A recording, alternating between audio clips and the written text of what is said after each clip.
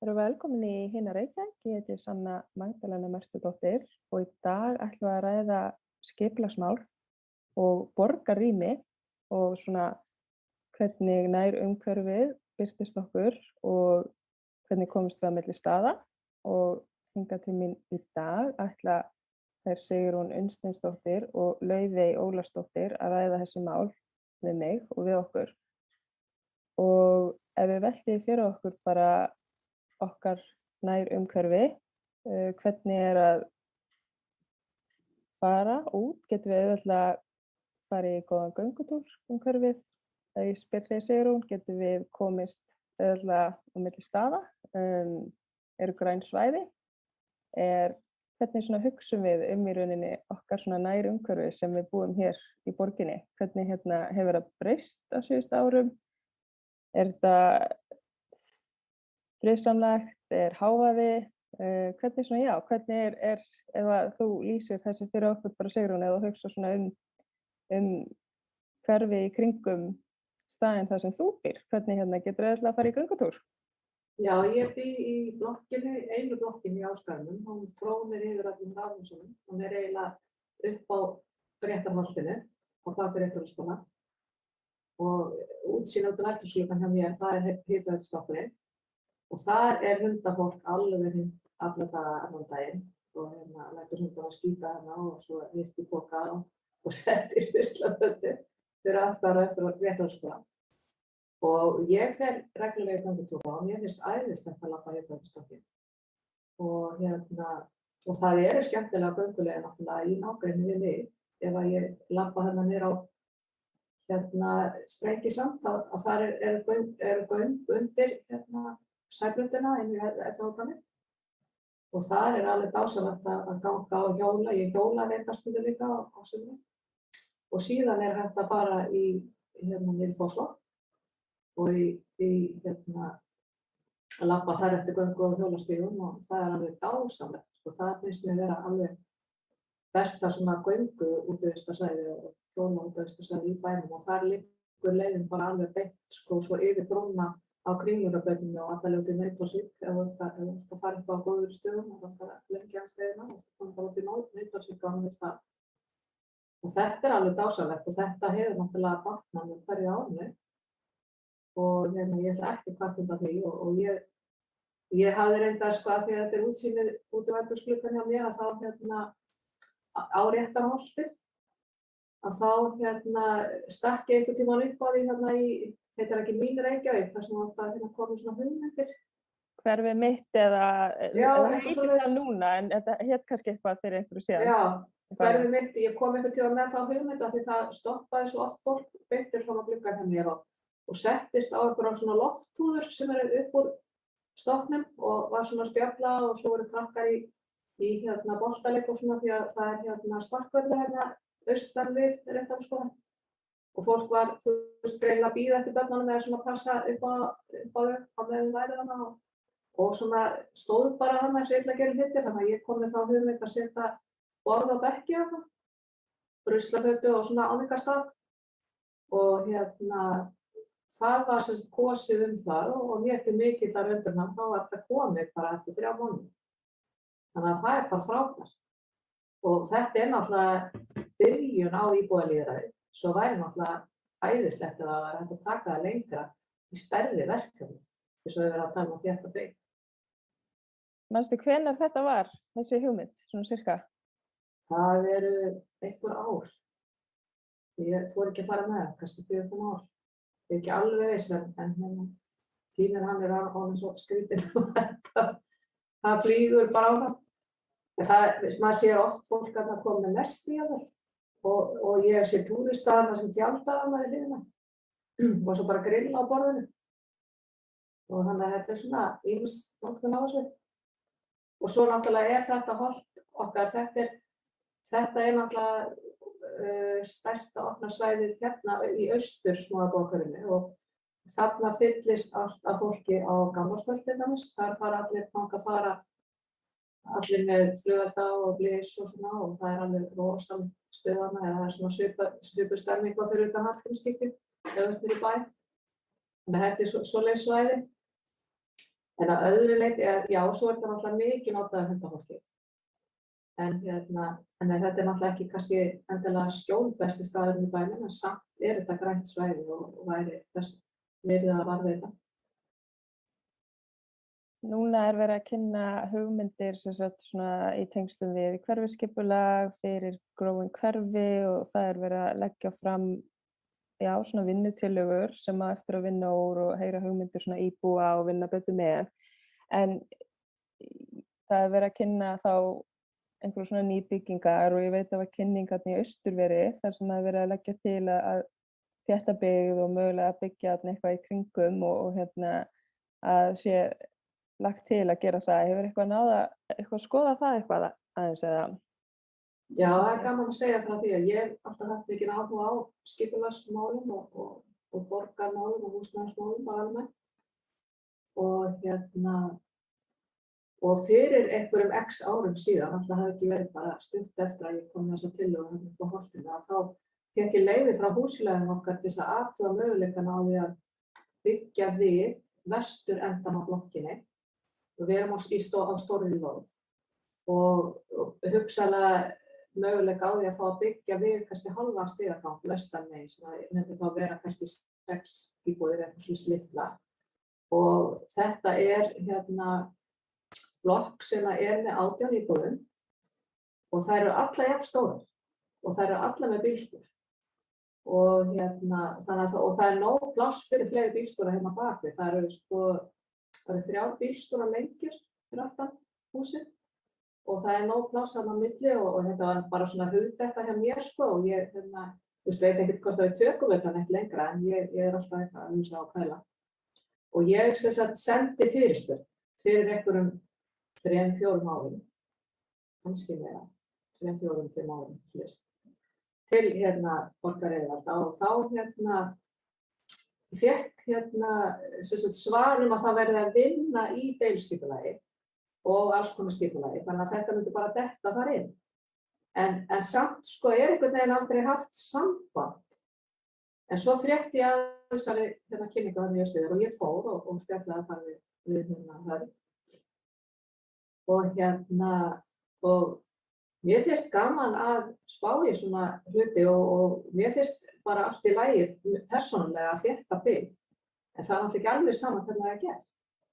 En þar var hann að tala um að þeir væri opna fyrir það að það hefði byggt ofan á allar blokkirnar, hérna, kannski ofan á þryggja blokkir, byggja auka hæg ofan á þær, á það er því leift. Og þá er þið sett lifta í leiðinu. Og þetta er náttúrulega sko, sniðut af þýleitinu til að ef að þú sko, ert með byggingar rétt og, og getur byggt ofan á, þá, þá borgar það liftuna veist, og, og miklu meira það. Þannig að uh, for, eða, sko, húsfélag sem eru kannski komin á viðal á þakki og svona og svo kannski fólk að eldast og vilt vera áfram í blokkinni og svona, þá er þetta náttúrulega bara sniðurt að, að lega fólki bara að skoða þennan möguleika og í þá bara einhverju samráði og svo man ég að, að hérna, það er engi börn solnum á borgarstöðu, þá fór, fór borgin í eitthvað áttak að byggja á hann og þá var hérna, fólk fekk sko auðvitaðri lán og einhverjar ívilnanir og, og þá var, ég held að það hefði verið í það, í þeirri því átæki sem að það byggt svolítið ofan á e, húsin í hæðagarðinum og hólgarðinum þetta voru hérna sem sagt láris, sérst örgleikki örgleikki mannheðar hárís og náttúrulega komið viðhalda á þakkið ábyggjum mörgum húsum og, og ef þú lappar þessa götur núna þá er kannski svona einn þriði af heildarhúsunum búin að hætta. Það er komin kvist, stór kvistur og, og sérst, heil hæð ofan á. Þannig að ef maður lappa bara eftir götun og telur möguleikana sem eru þar, að þá eru það að byrja möguleikar fyrir kannski 20-30 íbúður inn í grónum ferði og hérna En mér líst, líst ekkert rosalega vel á, á hérna, hvernig er alltaf þetta hérna upp að bústæðinu. Ég finnst það eiginlega svolítið brætt, sko. Þá er það að tala um að taka, þetta er bara hluta bílastæðaninn eða eitthvað og ég er ekki alveg búin að kynna mér þetta en, en þetta er mætt mikið landstöðu. En sko, Mér hefði fundist að, að þetta hefði mátt vera í meira samræði við íbúan og svo er maður náttúrulega alltaf hættur um þessu opnum svæði og grænum svæði og það er garður í hérna smábóðakörnum sem að heiti Grundagerðisgarður. Hann er þarna eh, sagt við Grundagerðið og hann fyrir svona 30-40 ára síðan þá var þessi garður alveg dásamlega. Það var einhver bara aðili sem að hugsaði svona rosalega vel um hana. Þetta var bara skrúðgarður til fyrirmyndar og síðan hefur hann bara verið að drabbast niður. Og ég setti einhvern tíma fyrirspurt inn á Reykjavíkuborg hérna, þú veist, hvað, akkur er að væri svona miklu niðurlistu. Og þá kom svar að hann væri það bara ekkert.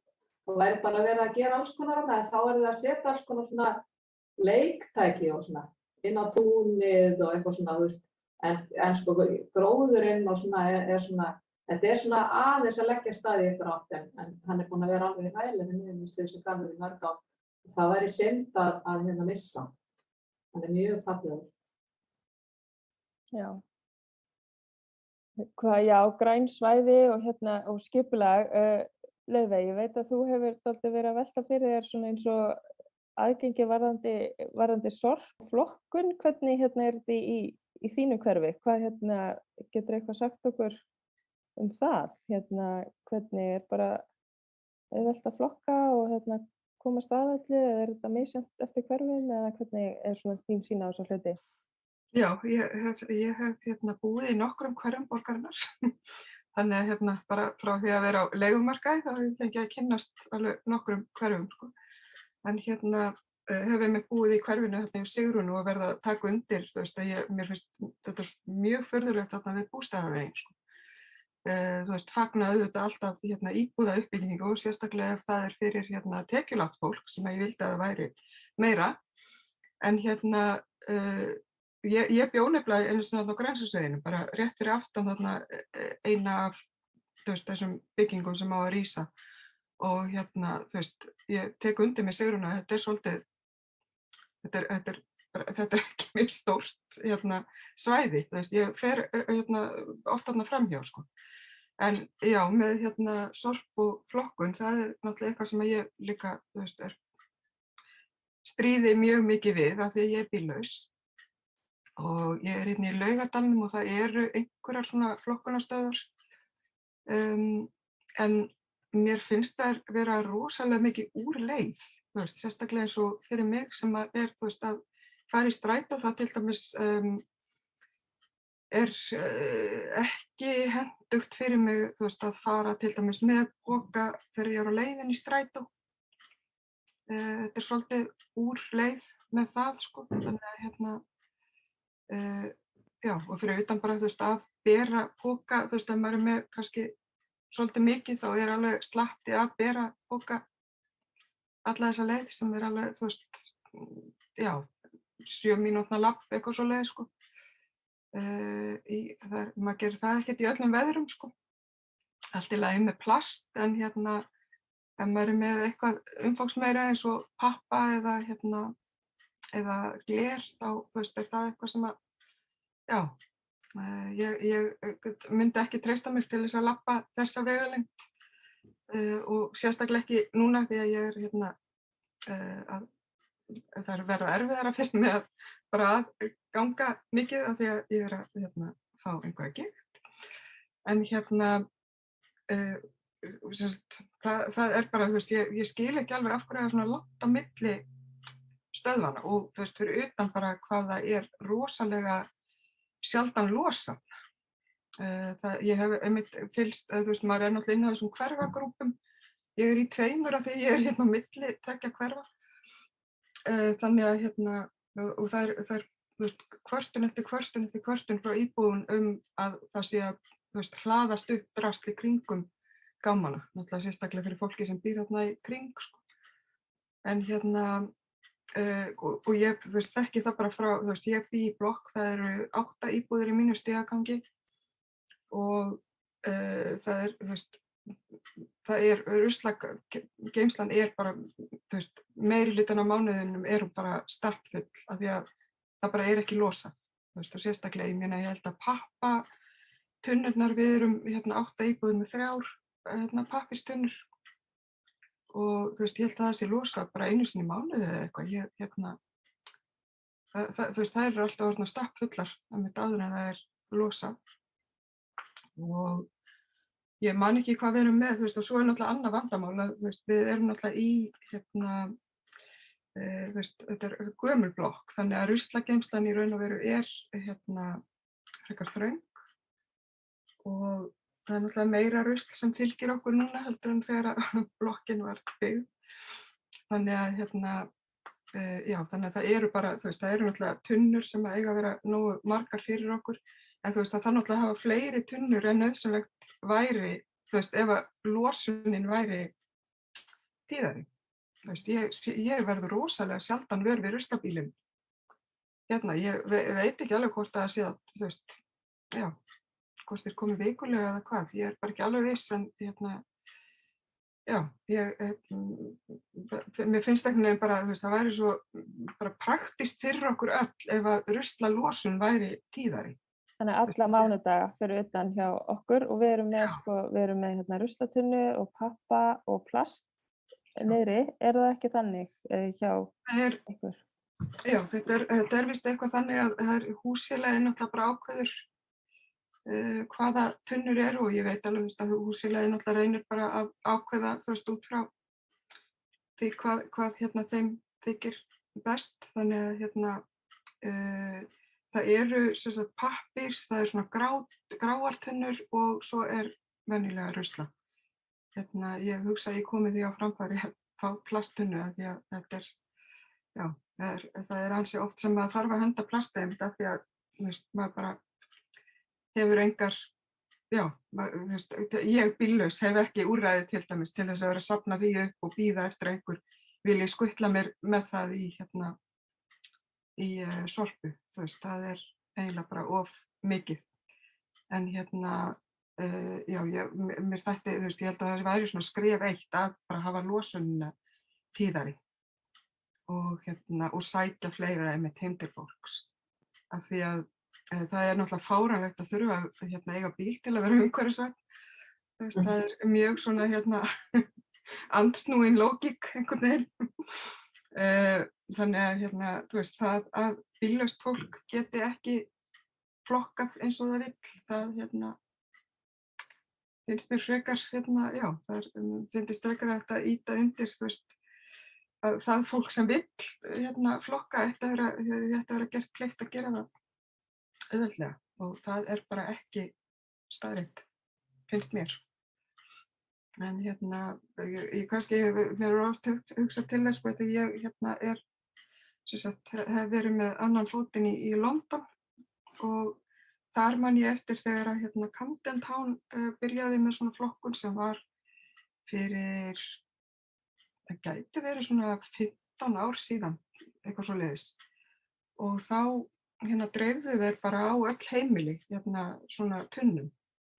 Það var svona lítil svona kompost, hérna, hvað er það, svona lífræðn úrgangur, tunna uh, og uh, svo var fyrir plast og pappir og eitthvað fleira og sem að fólk þá bara setur út á ákveðnum dögum og er losa þannig að það eru bara einhverju dagar sem þú setur þá, þú veist, komposttunnaðinu út og veist að það verður hérna tekið. Og þú veist, ég bara, ég skil ekki af hverju það er ekki meira húður einhvern veginn lagt í allt svona, veist, að koma til móts við fólk og aðstóða fólk við að vera umhverfisamt, þetta er náttúrulega bara Þetta er mjög sameilur ávinningur fyrir okkur öll að þetta sé vel gert og hérna, uh, þú veist, og, og ef þetta er ekki gert hérna auðveldur fólk þá gerir það ekki. Mm -hmm. Þannig að, já, þannig að mér finnst þetta mjög undalegt. En að ég spurði á sömur spurningu, ég spurði Sigrún áðan, svona, séum um þess að grænt, hvernig hérna að þú myndir fara í göngutúr um hverfið, væri það svona grænt og væri það góður og grænt göngutúr? Er það Þarna þarf það að fara yfir margar, um, já, getur þú fundið einhvern göngustíg aðna til að fara í hálftíma göngutúr eða eru hérna bílar út um allt eða hvernig, svona, hvernig er hverfið, umhverfið stig? Ég, ég er náttúrulega hérna, býðið þau forréttindi að vera bara hérna við laugadalinn þannig að ég allavega hef laugadalinn. Ég játa nú að ég er ekkert rosalega mikil hérna göngu hérna, göngutúra manneska, sennilega því að ég á ekki bíl og ég er alltaf gangandi út um allt til að komast á staði, þannig að það er svona hérna, minn göngutúr og það er eh, eitthvað sem er bara pínu flókið, hérna, finnst mér á, því að hérna, það er ekki drosalega mikið uh, gert auðvelt fyrir fólk að vera gangandi í sko praktískum tilgangi. Og ég held að ég hafi sagt það einhvern tíman áður, ég held að ég hafi rætt það einhvern tíman hérna að hérna, það er oft búið að fjarlæga gangstéttir. Um, það er til dæmis ég manna því ég er veist alveg upp í Reykjavík og ég hef náttúrulega búið meira og minna í Reykjavík í 47 ár. Uh, þannig að hérna, ég man alveg eftir í hvernig þetta var og ég held alveg öruglega að hérna, það hafi verið sko gangstéttir meðfram til dæmis á Suðurlandsbreytinni. Er það ekki rétt munað það með Sigrún? Maður stóð það, ég... Ég er að- alveg sammálaðir að þessu leiti, ég man ekki nákvæmlega hvernig það var útfært, en ég er alveg sammálaðir að þessu leiti að það er alveg núna rosalegt úrval af göngustígum fyrir svona sportisma, Mm en, en svona praktíski göngutúrar eru svolítið. Já, Og líka ef að fólk er að hjóla í vinnuna, því að maður hjóla svona eitthvað staðar og svo bara enda maður allt í hennu bara út á dóni. Og akkurat, ég bara kemst ekkert áfram að því bara það bara hættir allt í hennu. Þetta er eins og Já, bara Þetta er svo súrealist sko og Já. líka það að, að gangandi fólk og hjólandi fólk og sérstaklega gangandi fólk, það þarf að skáskjóta sér í kringum umferðina. Umferðin gengur fyrir og bílarnir, þeir fara styrstu leið og Mhm. gangandi fólk er alls konar bara- króka. Einmitt, það eru Þú svona... veist, þetta ætti að vera alveg öðvöld sko. Akkurat, já, það, það er akkurat, það er búið að girða, þú veist, göttunar, þannig að maður kemst yfir þær og svo er búið að byggja yfir einhverja svona, svo er búið að byggja einhverja svona, hérna, hvað heitir það, svona brýr yfir sem að fara oft í einhverja sveiga, þannig að þetta er alveg tíminútna lapp yfir göttuna, þú veist, það er svona upp á eitthvað, þú veist, ég tala nú ekki um, ég meina, ég er, þú veist, gangandi, en hérna, þú veist, fyrir fólki í hjólastólum eða, þú veist, eða með, þú veist, það er bara alveg ná erfitt bara með barnavagn, þú veist, ég ná- náttúrulega er búin að aðlega okkur börn og hef, þú veist, það hefur ekki mig á, þú veist, bara að vera með barnavagn og til dæmis um vetur, það er bara rosalega erfitt. Þú veist, Já. hérna, já, þú veist, alltaf í því einmitt að þú veist, príla upp á einhverjar, hérna, þú veist, einhver, hvað þetta er, einhverjar brýr og eitthvað, þú veist, af því að þú bara kemst ekki yfir götturnar. Já, það virðist vera sko hérna skipulagið hanna þannig að bílinn er bara í forgangi Já, alls staðar og, og þetta er náttúrulega, þú veist, kannski að því að, að Reykjavíkuborg bara byggðist upp svolítið sem bílaborg, að þá er kannski svolítið erfitt að snúa sér við en ég held að vera að taka bara, þú veist, svolítið viljan fyrir verkið, að það, það er alveg hægt að laga allt eða viljingu fyrir hendi. Einmitt. Ég hef, já, akkurat, ég, ég nefnilega, þú veist, af því að ég bjó í London svona mest allan, hérna, tíunda árategin, það, það er svona, þú veist, ein, eina skipti sem ég verið eitthvað, þú veist, fjárfærandi frá Reykjavík og mér brá svolítið þegar ég kom tilbaka, það var eh, 99, þá einmitt sá ég bara, þú veist, að akkurat það, þessi þróun hefði svolítið átt sér stað, þú veist, að einmitt þá búið að fjarlæga bara, hérna, gangstéttir og, hérna, þú veist, ég, þannig ég hugsaði þetta að við gerst einhvers þar á þessum tímabili. Þannig að, já, Já, þannig að þetta er alveg rétt sem þú segir, Leifi, ef að fólk neyðist til þess að vera gangandi, sem er ekki á ekki bíl, að það er bara, þú veist, allt annar handleikur heldur en fólk sem er að fara út í skipulega göngutúr, sér til Já, hressingar, skilur eitt át í buskan, en ef þú Já. þarft að komast frá A til B mhm, í Reykjavík, í öllum veðrum og, og alls konar, og myrkri og allt þetta, að Mhm. þá er, er það bara, þú veist, þá ert þú ekkit efst í fornansöðunum. nei, það er einhvern veginn að það er bara ekki gert ráð fyrir okkur, sko. Nei. Er, og, og, og einmitt, þú veist, fyrir utan, þú veist, við getum náttúrulega haft annan þátt undir, sko, hvað strætó þjónustan er glötu, en hérna, og höfum talað um það áður, ég veit það, en hérna, það er einmitt líka bara aðgengið að strætóskilum, sko. Það er, mér finnst mjög oft sem að, sko, göngustígarnir eru einhvern veginn á bakvið, þú veist, eru oft sett á bakvið tríi, þú veist, þannig ef þú ert í, þú veist, að fara að hlaupa eftir strætó, þú veist, þú sérð ekki einu svona hvort að strætó eru að fara framhjá eða ekki. að þú ert einhvers staðar á baku tréð, þú veist, einhverja svona trjáþyrpingu til dæmis þarna í lögadalum og hérna Já. göngustígurinn er þar þannig að þú þarft eiginlega að fara þarna upp á, þú veist, og ganga eftir grasinu, ég hleyp alltaf þar af því að einmitt, þú veist, það pyrrar mig að sjá ekki, þú veist, hvort strætó er farin eða ekki, sko. Svo þurfum við, ef við erum að tala um skipulagsmála, þá, þá finnst mér við þurfa líka að hugsa um kannski einhverja litlar hverfisvestlanir og, og kannski skólagarða og eitthvað svona fyrir fólkið. Svona, og kannski aðstæða til að setja upp litla svona sumarmarkaði eða þú veist, eitthvað sem fólk getur gert sko sjálf. Akkurat, ég er alveg sammála því og hérna, þegar þú segir það þá kannski hérna grípi að það er einmitt hérna í laugadalum, það eru svona íbúa samtök hér sem að hafa alltaf einu svona ári svona markað hérna einhver staðar í laugadalum en það er bara, þú veist eins og ég segi, það er bara einu svona ári.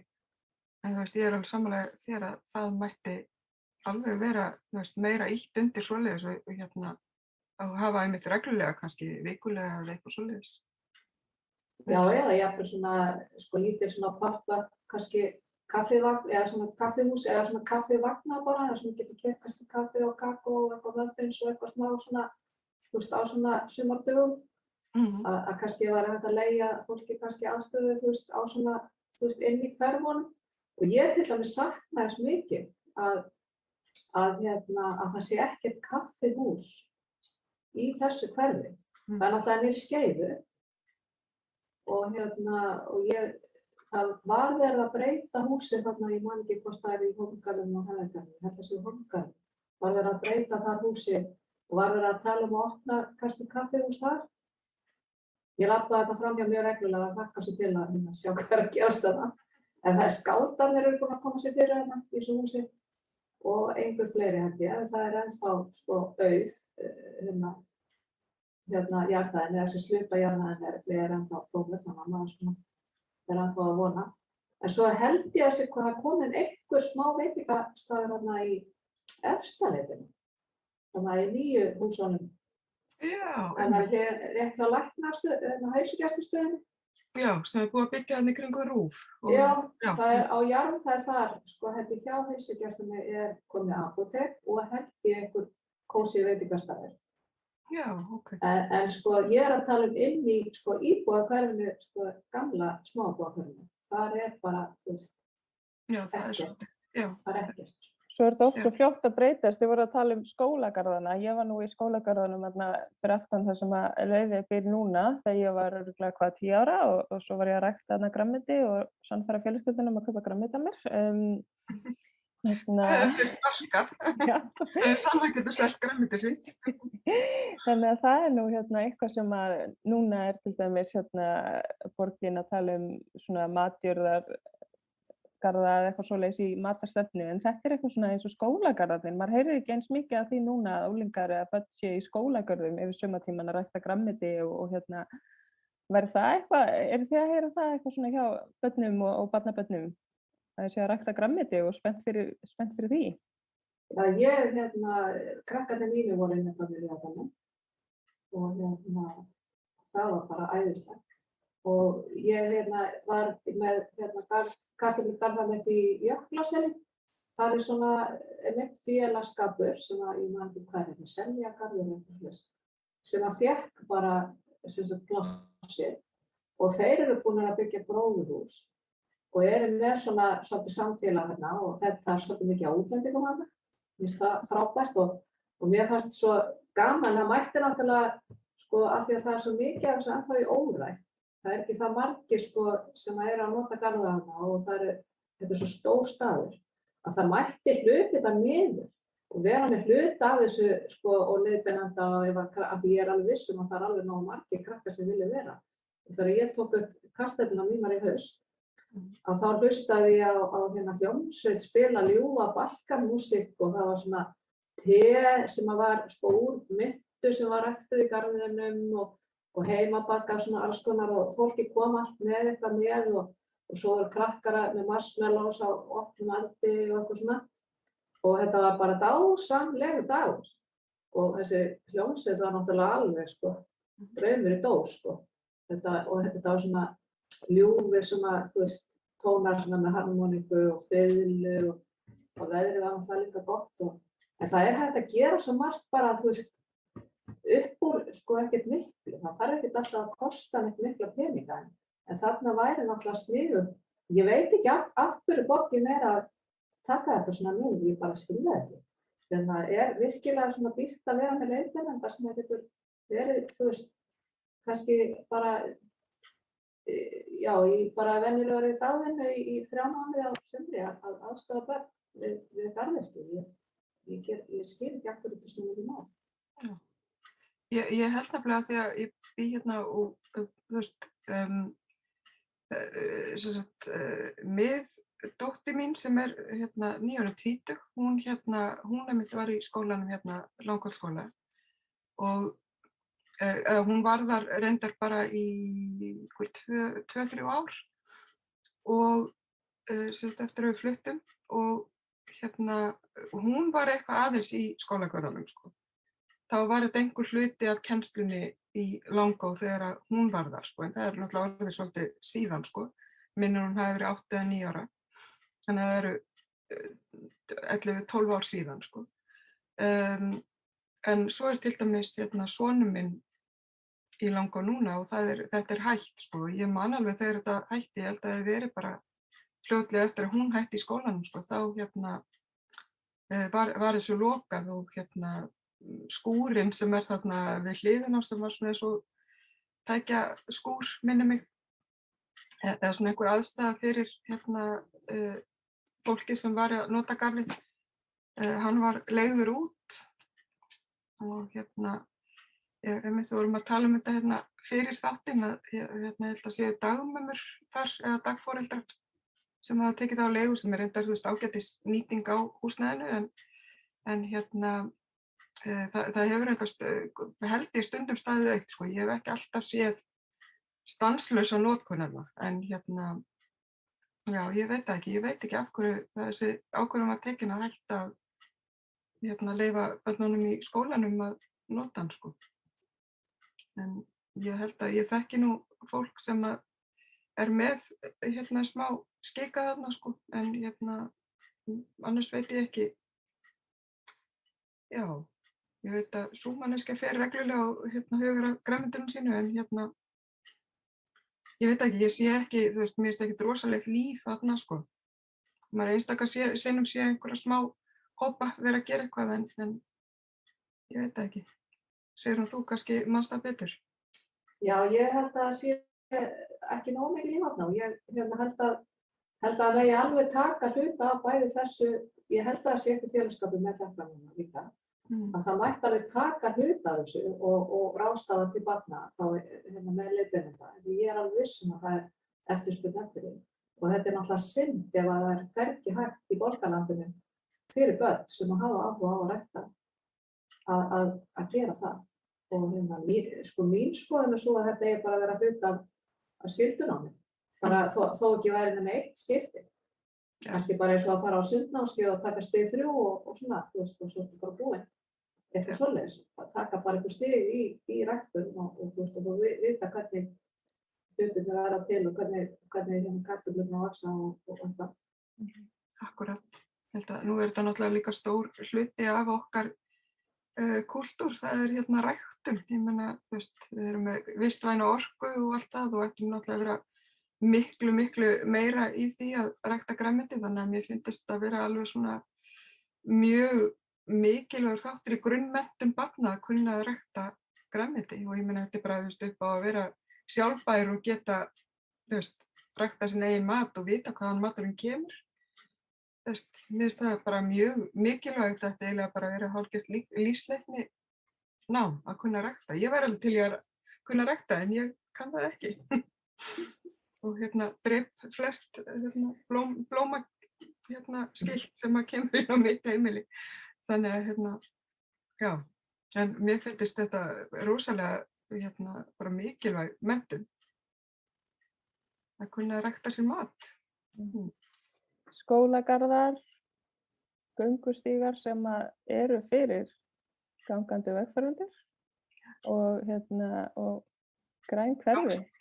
Gangstéttir. Já, gangstjættir, emmitt. Ég hérna, var að taka strætaði morgun og hérna, svona stóð eiginlega á, hérna, þetta var að Grönsinsvegi og ég eiginlega svona stóð á götunni en samt svona bak við einhverja bíla og vildi Mhm. samt vera viss um að strætóin myndi sjá mig en vildi samt ekki verða fyrir bíl. Ég náði strætó og ég er hér en þetta er, já, það vantar gangstjættir, þannig ég held að við hérna ljúkum þessu í dag, að við getum alveg haldið áfram og áfram og áfram að tala um skipilagsmál, þannig við verðum með fleiri þætti um skipilagsmál en við kveðjum hérðan í dag eh, Sanna, Sigrún og Laufey og þakkum ykkur kærlega fyrir að fylgjast með. Þetta var hinn Reykjavík. Takk fyrir. Takk. takk, takk.